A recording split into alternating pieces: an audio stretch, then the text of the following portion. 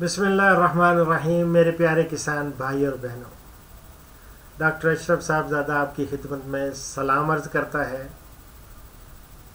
سلسلہ ہے رائس کی ڈائریکٹ سیڈ سوئنگ یعنی بذریعہ بیج براہ راست دھان کی کاشت۔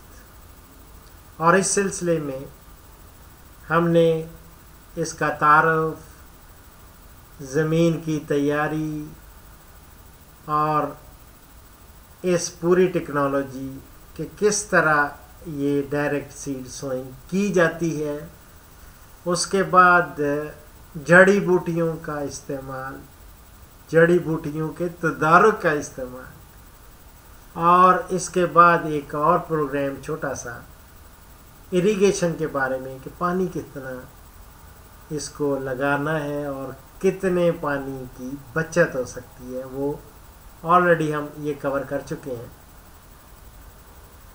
اب ایک نہایت اہم جز وہ ہے فرٹیلائزرز کی اپلیکیشن یا یا جس کو آپ کہتے ہیں کھادوں کا استعمال۔ ہمیشہ یاد رکھیں، زمین کا تجزیہ کروائیں اور دیکھیں کہ کس چیز کی زمین میں کمی ہے اور کتنی مقدار میں فصل کو کھادیں مطلوب ہے یاد رکھیں، اگر متناسب فرٹیلائزر یا کھادیں استعمال نہ کی جائیں تو پیداوار میں کمی آ جاتی ہے۔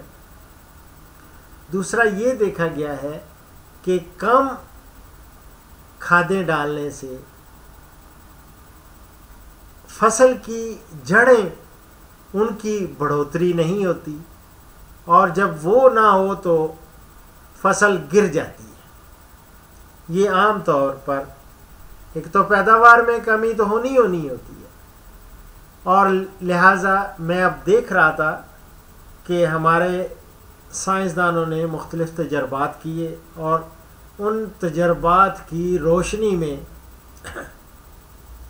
بہت ساری ریکمنڈیشنز لیکن ایسی ریکمنڈیشن جن پہ پھر ان کا اتفاق ہوا اور اچھے نتائج وہ درآمد ہوئے۔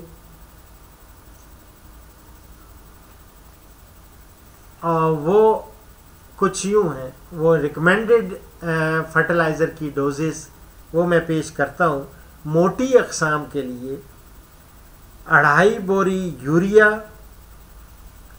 اڑھائی بوری یوریا، ڈیڑھ بوری ڈی اے پی اور ایک بوری پوٹاش فی ایکڑ اس کا استعمال کریں۔ اور باسمتی اقسام کے لیے دو بوری یوریا، ڈیڑھ بوری ڈی اے پی اور ایک بوری پوٹاش فی ایکڑ استعمال کریں۔ کھادوں کے ضمن میں موٹی اور باسمتی اقسام میں ڈی اے پی اور پوٹاشیم سلفیٹ کی بور، بوری پوری مقدار۔ یہ جو میں نے ریکمنڈڈ ڈوزز دیں بتایا کہ کتنی کتنی یعنی باسمتی میں دو بوری یوریا اور ڈیڑھ بوری ڈی اے پی اور ایک بوری پوٹاش فی ایکڑ استعمال کریں۔ اور یہ موٹی اور باسمتی دونوں اقسام میں ڈی اے پی اور پوٹاشیم سلفیٹ کی پوری مقدار ایک بور اور ایک بوری یوریا بوائی کے وقت زمین میں ملا دیں دوسرا یہ ہے کہ ڈیڑھ بوری یوریا موٹی اقسام اور آدھی بوری یوریا باسمتی اقسام کو تیس تا پینتیس دن بعد ڈالیں یعنی موٹی اقسام کو ایک بوری اور باسمتی کو آدھی بوری۔ یوریا۔ ایک مہینے بعد یہ سمجھ لیں کہ سوئنگ کے ایک مہینے بعد۔ اور باسمتی اقسام میں بقایا یوریا کی آدھی بوری پینتالیس سے پچاس دن بعد ڈالیں۔ ٹھیک ہے؟ اور زنک اور بوران کا استعمال۔ زنک اور بوران میں مجھے بہت ساری ٹیلی فون کالز بھی آتی ہیں۔ وہ پوچھتے ہیں کہ یہ زنک کتنے فیصد والا، کتنے کلو گرام وہ خاص طور پہ وہ یہ ضرور پوچھتے ہیں۔ تو یاد رکھیں، پانچ کلو زنک سلفیٹ، پانچ کلو زنک سلفیٹ تینتیس فیصد والا، تھرٹی تھری پرسینٹ یا دس kilogram twenty two percent والا بائیس فیصد بوائی کے اٹھارہ تا بیس دن بعد ڈالیں۔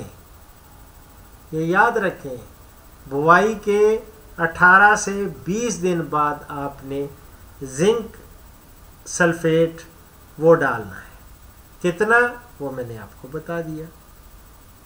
یعنی تینتیس فیصد والا وہ پانچ کلو یا بائیس فیصد والا دس کلو۔ Zinc sulphate. اور بوران کی کمی کی صورت، جب انالیسز کرائیں گے سوائل انالیسز یا زمین کا تجزیہ، تو آپ کو پتہ چل جائے گا کہ اس میں بوران کی بھی کمی ہے۔ بوران کی کمی کی صورت میں تین کلو گرام بوریکس بوائی کے وقت کھیت میں ڈالیں۔ کیونکہ بوران کی کمی کی صورت میں یہ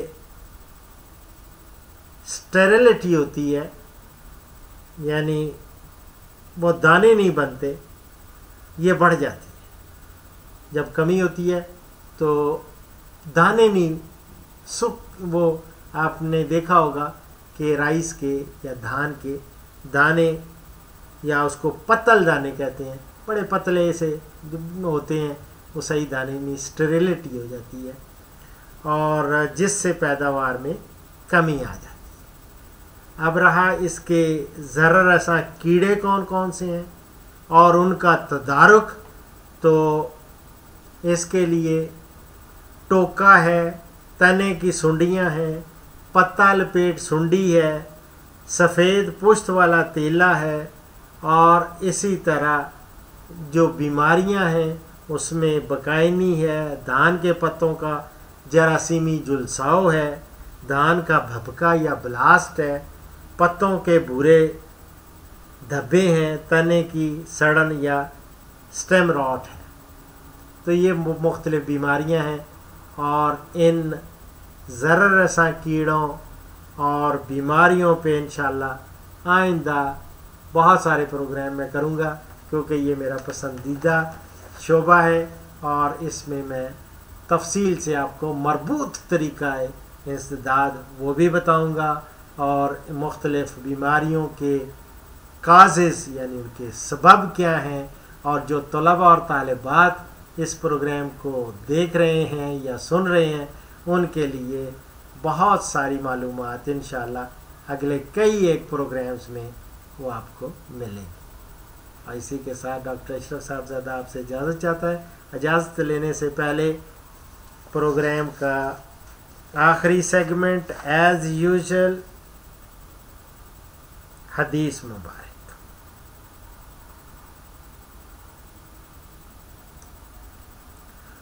اللہ اکبر ترمزی سے۔ اگر دنیا اللہ کے ہاں مچھر کے پر کے برابر بھی ہوتی تو کسی کافر کو ایک گھونٹ پانی نہ ملتا۔ ترمزی